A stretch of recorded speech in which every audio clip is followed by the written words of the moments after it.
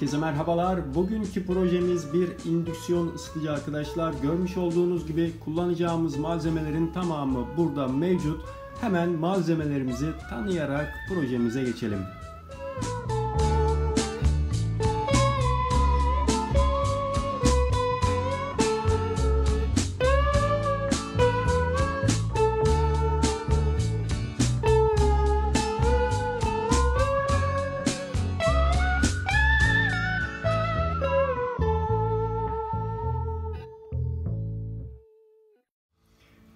Evet arkadaşlar malzememizi tanıdıktan sonra hemen işlemimize geçelim. Görmüş olduğunuz gibi elimde iki adet soğutucum var.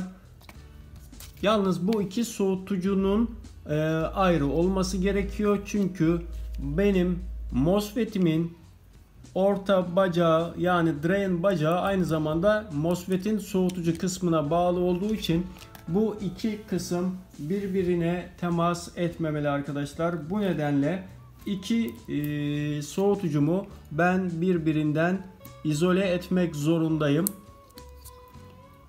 Bu iki soğutucu birbirine temas eder ise sizin e, indüksiyon ısıtıcınız çalışmayacaktır. Hemen şu şekilde çift taraflı bant ile kolaylıkla iki soğutucumu birbirinden izole ettim. Hemen ardından ise MOSFET'lerimi soğutucuma montaj diyorum.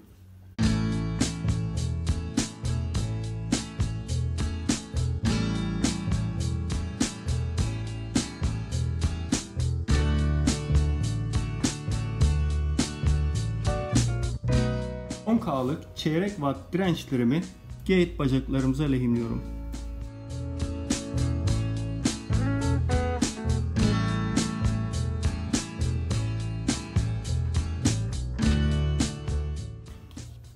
Evet bu aşamada Biren 4007 diyotumuzu halkasına dikkat ederek gördüğünüz gibi halkalı kısım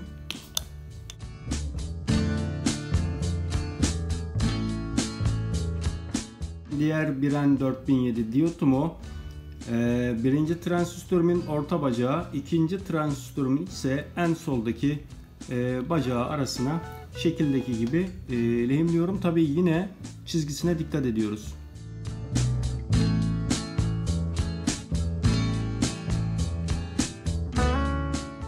Şimdi de 470 ohmluk e, dirençlerimi her iki MOSFET'imin gate bacağına lehimliyorum.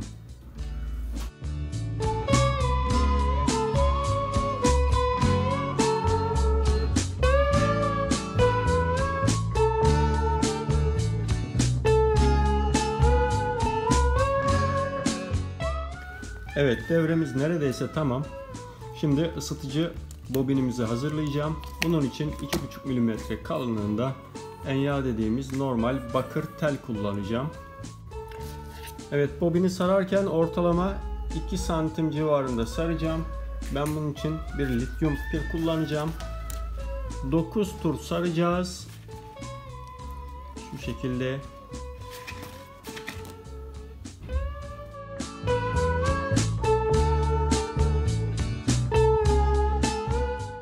Yalnız ben burada 5. turda bir çıkış alacağım. Sonra tekrar sarmaya devam edeceğim.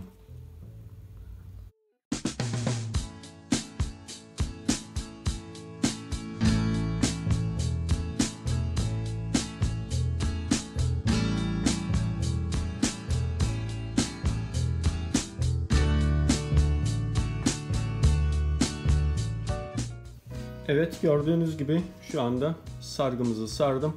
Burada önemli olan konu şu aralıkta mesafe olması. Yani bunlar birbirine kısa devre olmamalı.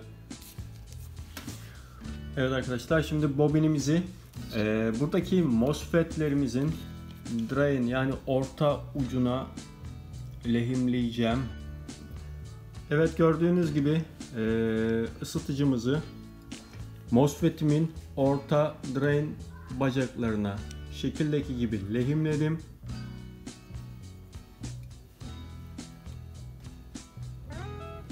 Şu şekilde daha net görünüyor sanırım. Gördüğünüz gibi her iki bacağımızı da MOSFET'imin orta bacağına şekildeki gibi lehimledik. Evet şimdi sıra şok bobinine geldi. Şok bobinini direkt ortadaki ucumuza lehimlemem gerekiyor. Yalnız buradaki ısıdan dolayı burada lehim tutmuyor arkadaşlar. Bu kısma şu şekilde bir Clemens e, kablo Clemens'inin metal kısmını çıkardık. Bu kısmı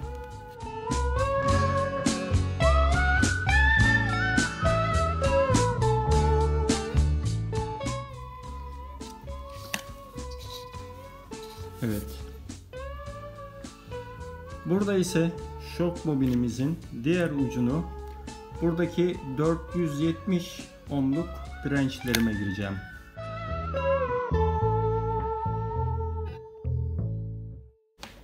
Şok bobininin girişine bağlı lehimli. Aynı zamanda bu kısmı artımız yapıyoruz. yapıyoruz. Yani şok bobinine artı veriyoruz. Eksimiz ise şu gördüğünüz kalın kablo 2.5'luk kablo. Eksimi de yine şu kısma lehimliyorum. Son bir aşamamız kaldı. Burada ise 220 nanofrat 1000 voltluk kompozit kapasitörüm var. Kapasitörümü ise tercihen 1 veya 2 adet kullanabilirim. İlk önce tek bir tane deneyeceğim. Ee, bir taneden verim alamazsam şu şekilde ikinciyi yerleştireceğim arkadaşlar.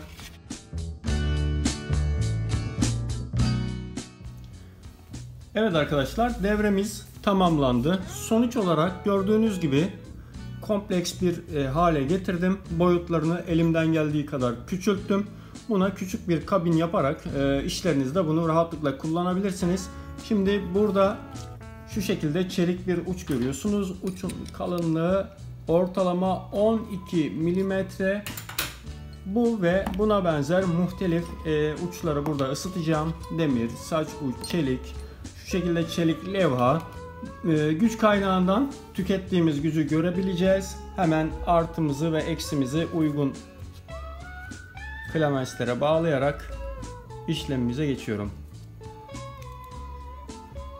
Evet. Gördüğünüz gibi boşta iken e, 0.69 amper çekiyoruz. Çok düşük bir rakam. Metal e, dışında hiçbir e, malzemeye reaksiyon göstermeyecektir.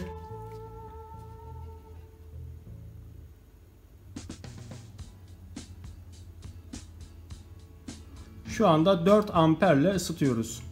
Dumanlar çıkmaya başladı.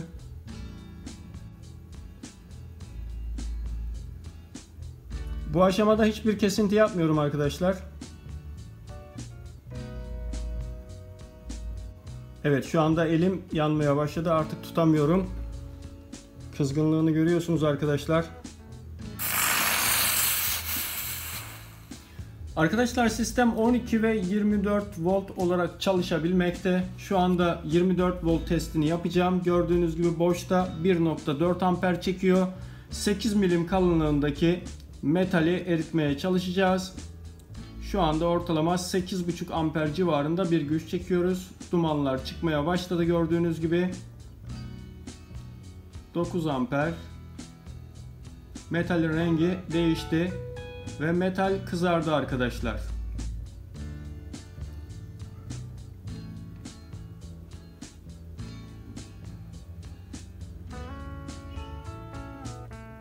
Gördüğünüz gibi metalim kor hale geldi. Hemen şu şekilde suyla Arkadaşlar sistemin verimliliğini test etmek için ikinci bir kapasitör daha ekledim. Şu anda iki kapasitörlü bir sistem kurdum. Şu şekilde bir kontrol tornavidayı ısıtmaya çalışacağım. Gördüğünüz gibi dumanlar çıkmaya başladı. Evet resmen ucu yanıyor arkadaşlar tabi. Şu, şu kısmını ısıtmaya çalışacağım.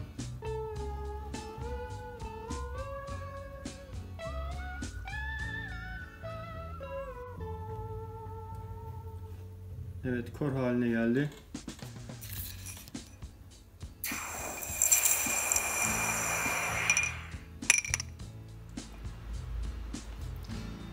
Evet şimdi de 10 milim kalınlığındaki çelik ucu ısıtmayı deneyeceğiz.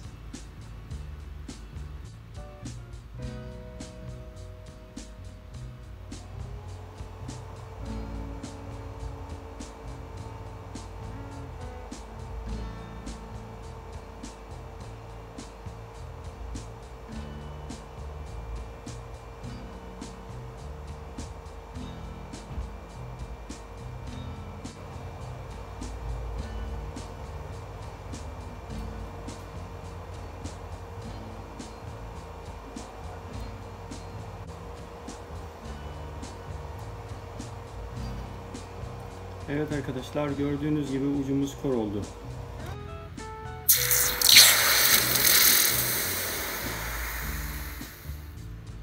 Bu şekilde yapmış olduğunuz bir e, indüksiyon ısıtıcıyla farklı kalınlıktaki farklı metalleri kolaylıkla ısıtabilirsiniz arkadaşlar. Gördüğünüz gibi birkaç saniye içerisinde çeliği ısıtmaya başladı. Son olarak 12 milim kalınlığında çelik bir ucu ısıtarak videomu sonlandırmak istiyorum. Projeyi beğendiyseniz like atmayı, yeni projelerden haberdar olmak için kanala abone olup bildirimleri açmayı unutmayın. Şimdilik hoşçakalın.